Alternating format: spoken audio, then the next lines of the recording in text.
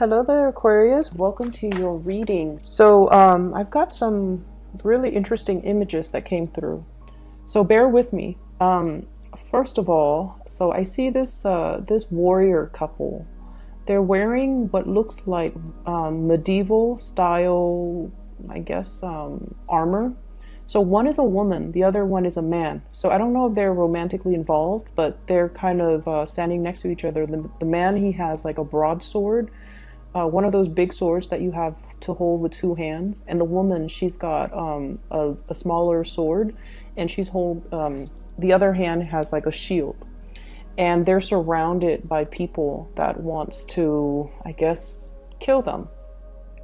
And then um, so you know there are two of them their their backs are to each other. They're like trying to protect each other but also uh, fight off the people that have encircled them so I, I, see like eight or nine people circling around them and so it flashes to this tunnel of light so i guess like they must have perished and then i see the same two people the, the man and the woman, but the woman is wearing in modern day clothes. She's wearing what looks like a business suit, and she looks like she could be a secretary or a paralegal. There's a lot of uh, documents and files on her desk. And then she's sitting down at her desk, and the man is standing up and he's wearing a suit. And he seems to be like her boss or something like that. And he's uh, he's telling her, he's giving her details about a very very important case, and then she's taking notes. So, right away when I saw this, I almost feel like many of you might be in a relationship where it's a reincarnational, where there might have been, you know, uh, a shared past life situation. And what I feel is um, there is residual energies from those past lives that are carried over to this lifetime and the first thing that I felt was this very intense, you know, life or death type of a situation where if you were in that past life where you were, you know, um, fighting with each other against your enemies or whatever, um, there's an element here about, you know, having tremend- a tremendous amount of trust that the other person has your back, having a tremendous amount of trust that the other person is not going to, you know, stab you in the back and leave you for dead and save their own skin. Um, so I feel like some of you are in that type of a relationship where there is an immense, immense, immense amount of trust that you have with one another. And um, going to the other image where it's it's almost like a boss subordinate type of a relationship, there might be a little bit of a power dynamics or power struggles in the relationship where one person feels like they make the executive decisions and then the other person has to obey or one person feels like they're in more of a subordinate role and they have to cater to the other person. So that that's what I'm feeling here and I feel like those energies are carried over into your present relationship. Okay? So for those who are in a relationship and that resonates with you, what I feel is, um, on the one hand, you know, when we are re- reunited with a soul, especially um, somebody that we shared a past life, love relationship with, um, it can feel very magical. It can feel like, you know, you talk to this person for five minutes and you feel like you've known them a lifetime. It can bring, stir up a lot of passion and a lot of um, just indescribable magnetism. It, it's almost like you're drawn into each other's orbits. Okay? There might have been a lot of synchronicities, a lot of, um, um, I, I feel like chance encounter where you kind of run into each other, you know, unexpectedly. There's a lot of that. And I feel like it is a stemming from some type of a past life connection I'm also seeing as well the you you both really inspire each other because this past life energy is all about growth and expansion and it's it's almost like there's a so much trust involved in the relationship where no matter what you want the other person to do well you want the other person to be happy you want the other person to thrive and you want the other person to survive okay to to do well to excel professionally uh, you're not threatened by the other person outgrowing you, and vice versa. They're not threatened about you outgrowing them. Two people just really want what's best for one another. And um, whenever I, I, see this sense of responsibility too, and um, it's coming up in this card. We have here the Two of Swords. Agreeing to disagree. Okay, this is like kind of like that stalemate. It's almost like that truce. Okay, um, we're not going to, you know, aggravate each other. We're not going to continue to, you know, argue over this. We can agree to disagree. So I feel that there's a sense of, you know, that yin yang energy, that male female, um, I guess like um, opposite, where the two of you are very, very different from each other, but together you know how to harmonize the energies, you know how to make things work. And despite your differences, there is a great degree of trust here.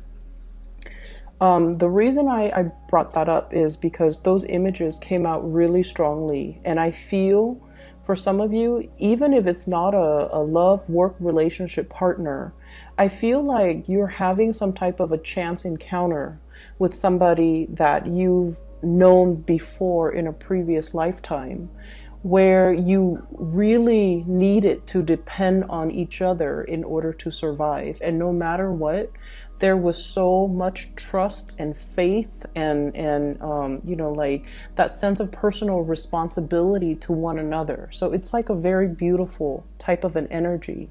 But at the same time, past life energies can keep us very stuck. Okay. Um, ways of doing, patterns of behaving, um, all of those things can be a little bit restrictive. Is that's what I'm sensing.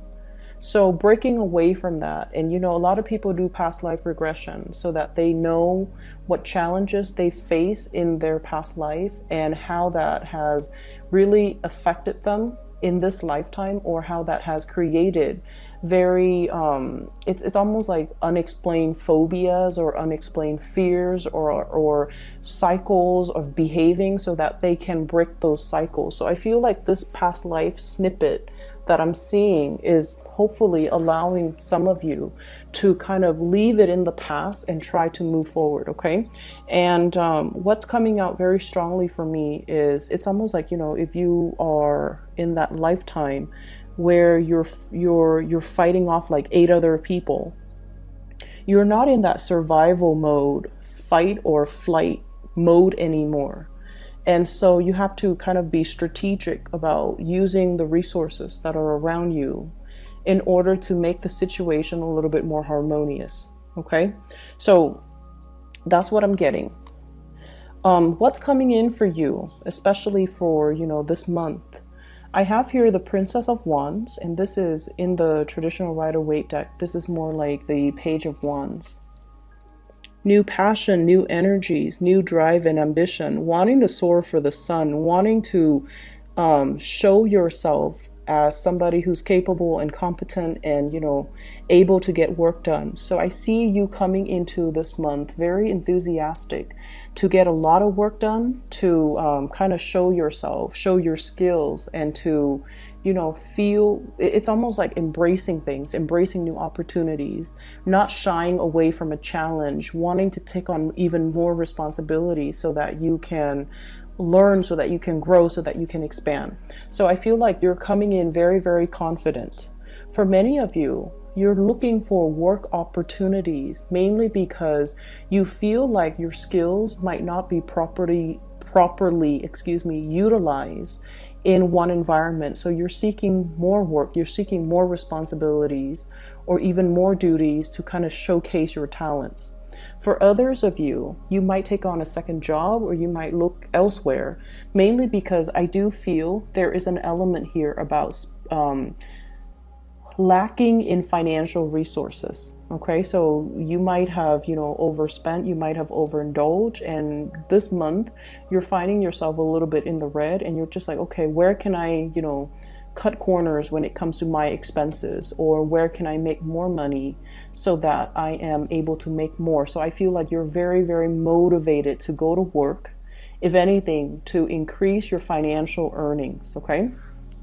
I see many of you going through your your your bank accounts, going through your ledgers, itemizing everything, and then trying to figure out where you can skimp, where you can save up, where you can, you know, cut corners when it comes to your expenses.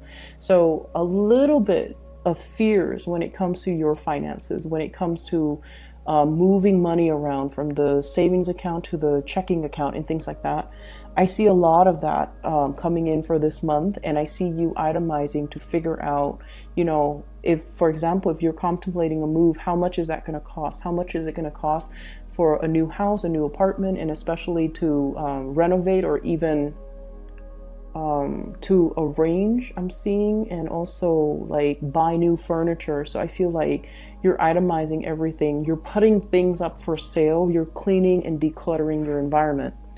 Um, there's a little bit of stress coming through for this month. I feel like there's a lot of electronic communication coming back and forth. So I feel many of you are putting things up for sale or you are doing something where you're selling things electronically and you have a lot of buyers. Okay, so like they're coming in and asking you, like possibly even reducing the price can you you know rather that so for example if you're selling something for $50 they're like can you give it to me for $40 so there's this constant back and forth and i feel like you can you know kind of put your foot down just to save yourself, you know, the emotional anguish, just put your foot down and say, oh, I'm sorry, whatever price I, I listed, that's the final price. I'm very sorry about that. So that's what I see. I feel like people are bargaining you with you, but they're not doing it face to face. They're doing it through emails, and it just seems like it's a drawn out process. So they would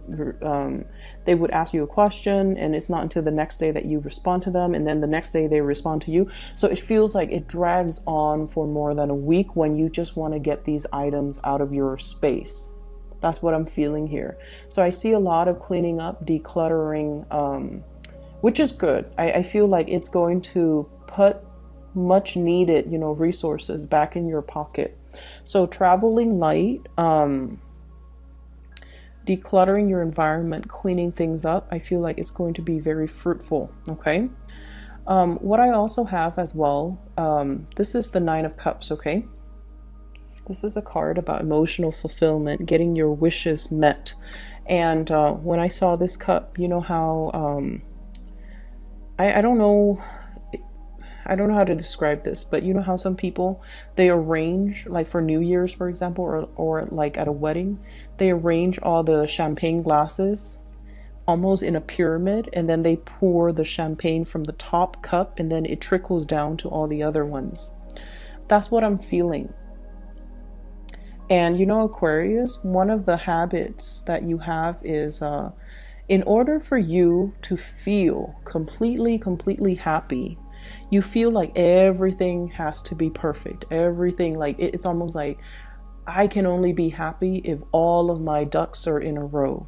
I can only be happy if all the areas of my life are perfectly balanced, okay? So work has to be perfect. I have to love my job. My relationship has to be perfect on top of the work being perfect. I have to be with my soulmate. And then on top of work and my love life being perfect, I have to have like, you know, groups of friends or, you know, group associations that are really emotionally fulfilling.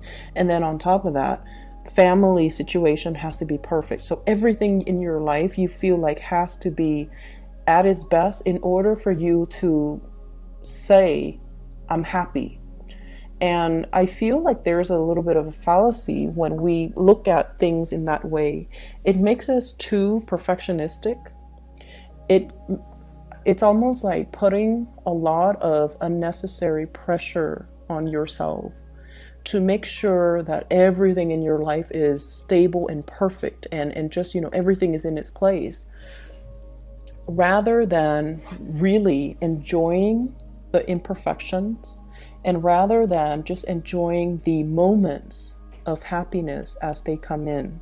So I see almost this obsessive need from your end not only to control things, Four of Pentacles, it's the miser card.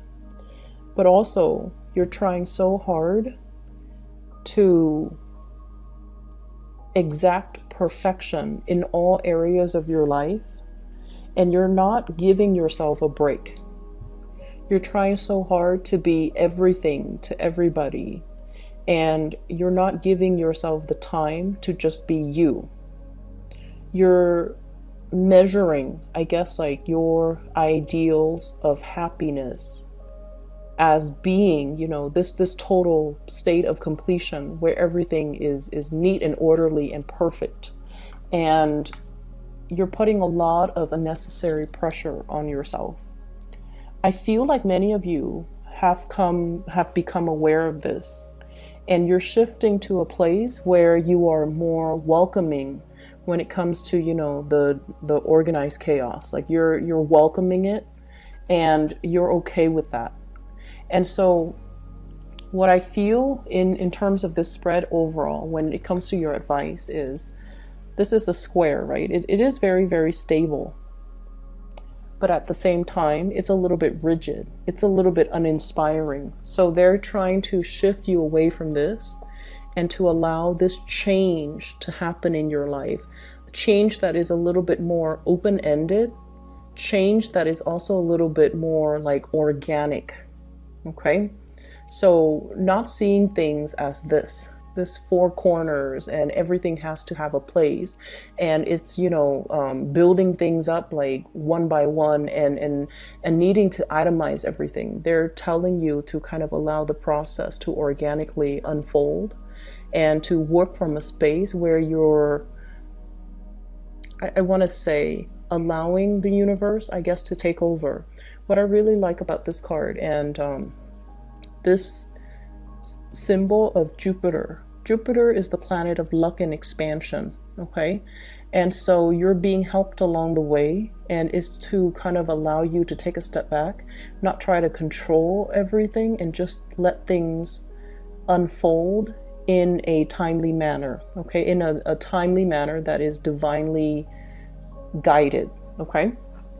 So, aside from that, the other thing that I'm picking up here is uh, let's talk about the relationship partner or whoever it is that is heavily on your mind that you are thinking about. We have here the Eight of Wands. This is a very non traditional deck, okay? And uh, what I feel is for some of you, the Eight of Wands is, you know, the, the fast, swift communication. In this deck, the energy is a little bit different. You're dealing with somebody who communication between you and this person can be a little bit contentious and can be a little bit jarring.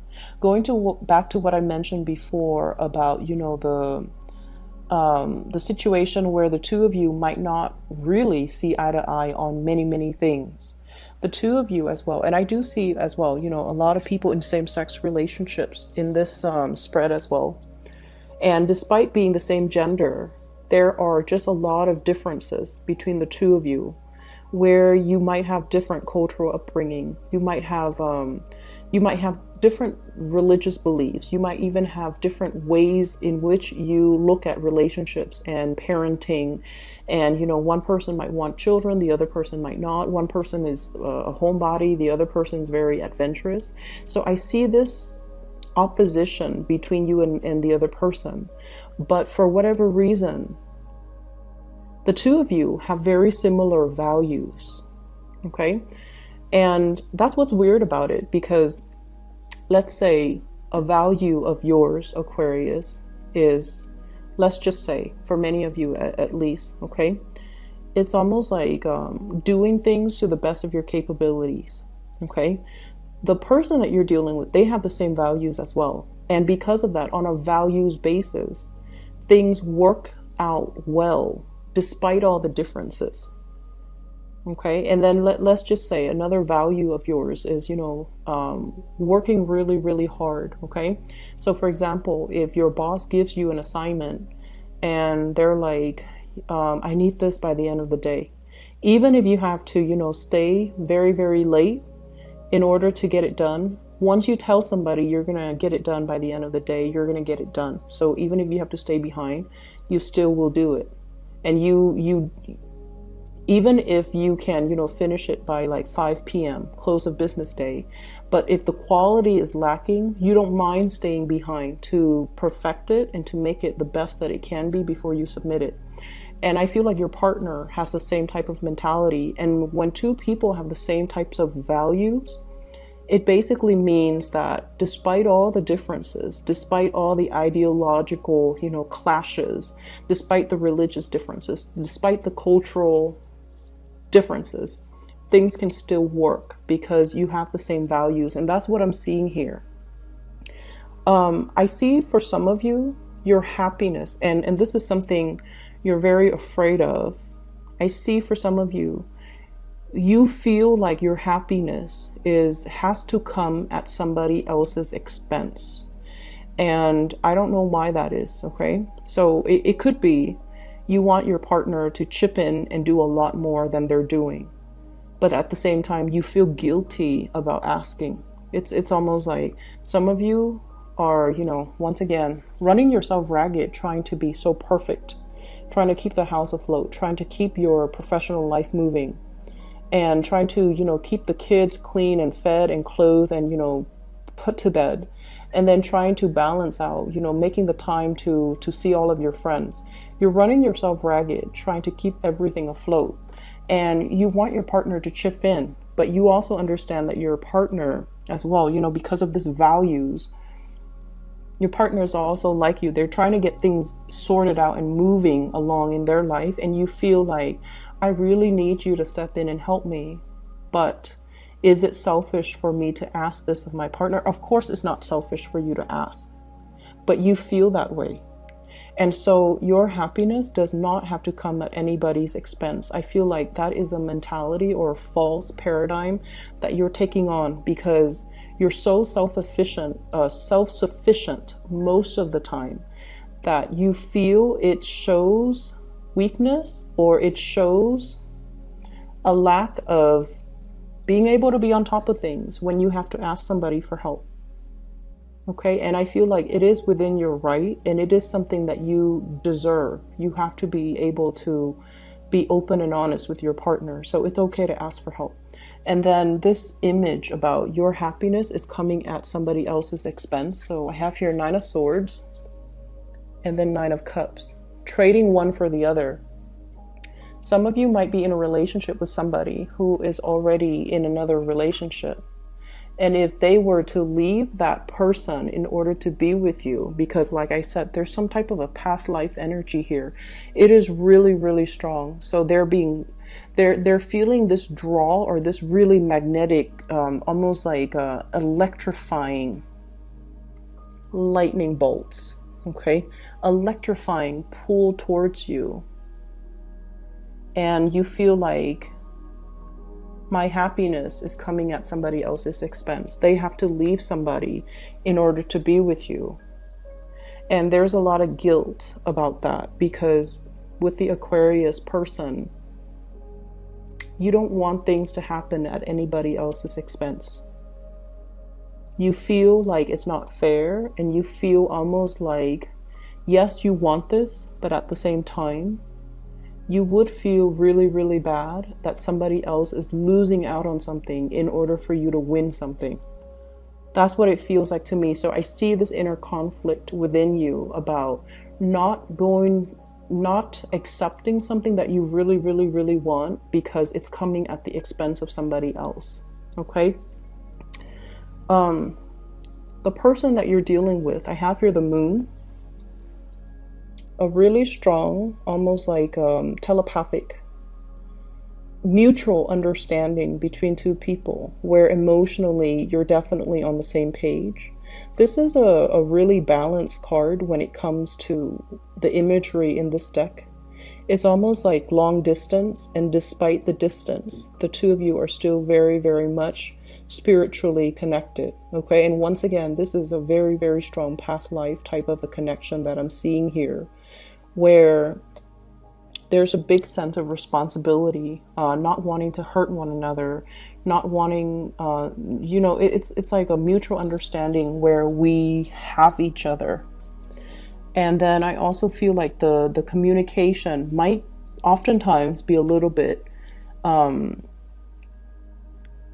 kinetic. It's it seems very ADD to me. It's like you can talk about every topic under the sun.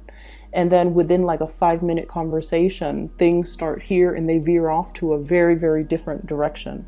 So it's like you can talk about family, you can talk about work, you can talk about, you know, your car, you can talk about your pets, and then you can like veer off on really, really tangential topics. So I feel like everything is being discussed, a lot of communication going back and forth between um, you and the, the partner or whoever it is that you're dealing with. I'm also seeing as well, you're giving a lot more communication than they're giving back. And I feel like they might feel a little bit overloaded. Okay, so that's what I'm, I'm sensing. It's almost like you're you're bombarding them with way too much communication and they're still trying to figure out how to answer your first question and you've already shot them like three other questions. So i feel like it would be better if you slow down when it comes to the communication so that um, it allows the two of you to understand each other fully and to discuss one topic at a time thoroughly and completely before you move on to another topic. Does that make sense? So I feel like there's a lot of communication, but when it comes to substantial communication, I feel like you guys are just like scratching the surface and you're not talking about things thoroughly enough in order to resolve or in order to fully express or fully um, explore that topic before you completely move on. Okay. So slow down the communication a little bit, asking the other person more follow up questions so that you understand where they're coming from because I feel like they feel a little bit overwhelmed. They're they're they're like still trying to figure out the first part and you're already, you know, three, four, five steps ahead of them. And I feel like they I feel like they feel a little bit overwhelmed. Okay your partner is um, going through some major transformative changes in their their love life as well and what i mean is uh, if in the past they've just been like going through the motions you know um, doing what is expected of them, doing what is culturally expected of them, or what is, you know, socially expected of them. So, for example, if they are a male and they're in their 30s, they're just like, okay, by the time I'm in my 30, I need to be established with a career so that I can get married, so that I can, you know, uh, have a kid when I'm 35, because by the time I'm 40, it's going to be too old. Um, that's what I feel is going through your partner's head. This is somebody who's very stable, who's very reliable, and I, I feel like they're very strong as well. They seem like very well rounded and they feel like they're very family oriented. I'm seeing this rainbow here, and it's almost like that completion.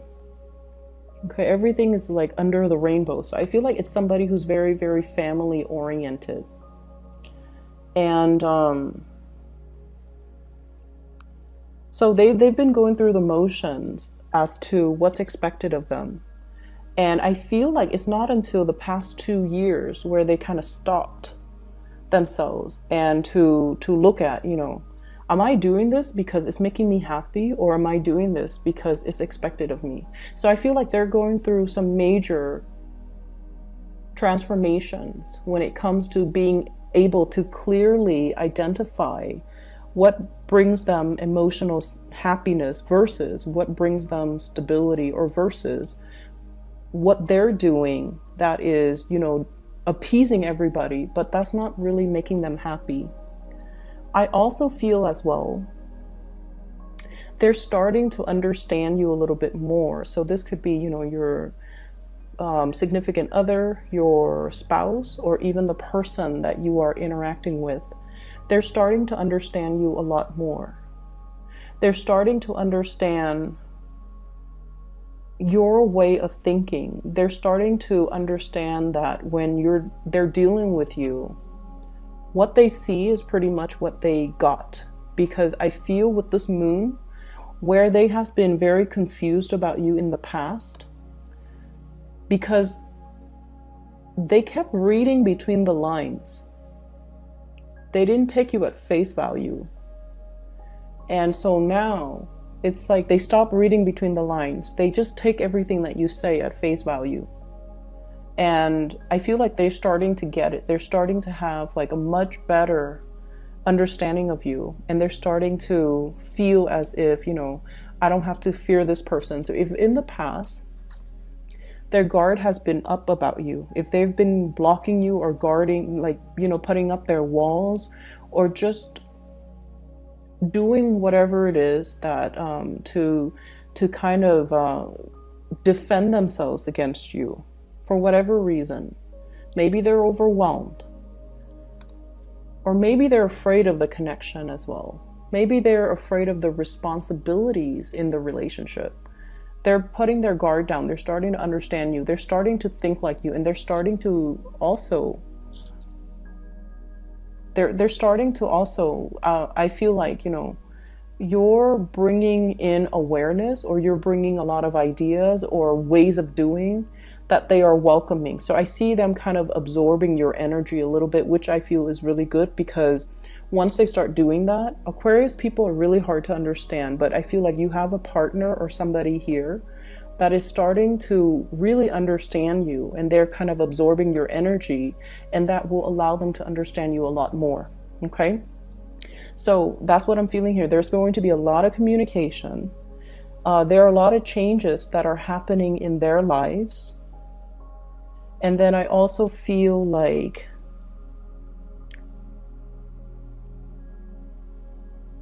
I also feel like whatever has been troublesome or problematic about the communication in the past, now there is some type of a, it's almost like a peace offering here.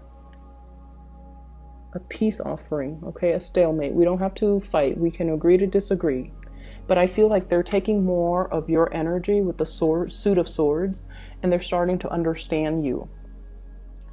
Um, moving forward for for this month at least i feel like you have to be easier on yourself i feel like you need to kind of embrace new opportunities and new energies especially when it comes to you know um, fun socializing and just you know going out i feel for many of you don't keep yourself cooped up in the house out of fear of you know seasonal depression get yourself a lot more physically active. Okay.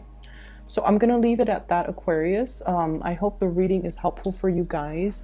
I do wish you the best. Okay. Take care. Oh, and one last thing. Um, I am no longer giving private readings. So, for those of you who are still emailing me, I guess you might not have heard the announcement last month, but I'm no longer doing private readings. So, if you are interested in a private reading, I've put down a link in the description box for um, a psychic. Her name is Bridget. She is phenomenal. I highly recommend her.